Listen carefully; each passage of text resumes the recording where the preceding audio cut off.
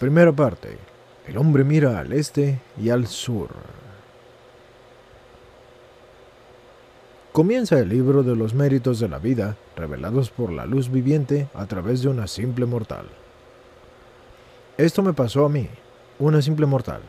El noveno año después de la aparición verdadera me manifestara así revelaciones auténticas por las que yo padecí durante diez años. Me pasaba desde el primer año y desde que esa aparición se me manifestara para explicarme las cualidades de las diversas naturalezas de las cosas creadas, y respuestas y consejos para muchas personas, tanto de rango distinguido como de rango inferior, y la sinfonía armónica de las revelaciones celestes y los escritos, e incluso una lengua desconocida. Con algunas otras explicaciones.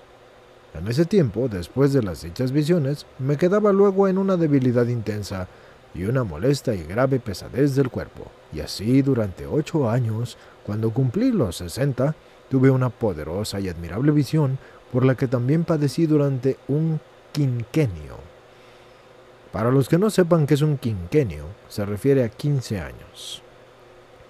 Así pues, el año en que cumplí los 61, que es el año de 1158 de la encarnación del Señor, reinando Federico como emperador de los romanos, y por desgracia esto para la sede apostólica, escuché una voz del cielo que me decía, Tú, a quien desde la infancia se ha dado el don de la revelación verdadera, que no es corporal, sino espiritual, por el Espíritu del Señor, transmite las cosas que ahora ves y oyes.